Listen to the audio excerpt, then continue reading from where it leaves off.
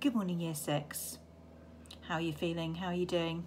I thought it would be a good idea for me to make a little video to start off with. Um, this time of year, I would normally be coming to visit you in your primary schools to have a chat about transition, um, to tell you a few things about what Year 7 is going to be like, and to answer any questions that you've got. So, because we can't do that, I think it would be a good idea if I make some short videos for you to tell you the things that you need to know and to answer your questions. So what I'd like you to do is, if you're looking at this on Facebook, put your question in the comments section. And if you're watching this um, as an email attachment, if you'd like to email me any questions that you've got, then I can compile them all together and I can make some, some short videos to answer your questions.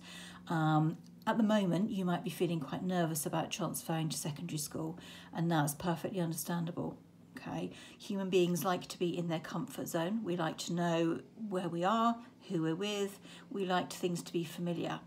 Um, and so you're probably going to go through one of the biggest changes that you will have been through um, ever, actually. Lots of people will have started primary school in year R and still be there in year six, so you won't have had to change schools at all. So the most important thing is don't worry if you're nervous, perfectly natural. My job is to make this as nice and as easy as it can possibly be. And this year we're doing things a little bit differently, but it will still be equally good and you will uh, feel much better by the time you come in September, okay? So, but you must make sure that you talk to me, you ask me the things that you're worried about, okay? Because one of the most important things that you need to remember is there is no such thing as a silly worry, okay? If you're worried about something, then it's really important and it's really important to me and I want to know about it. So don't think to yourself, oh, I can't possibly ask Mrs. Ford that because it's just really stupid and she'll think I'm really daft.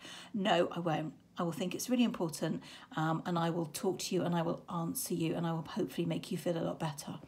So this is the end of my first video. Send me your questions. I'll gather them all together and I'll make some more videos to answer them. Okay, thanks. Have a good day.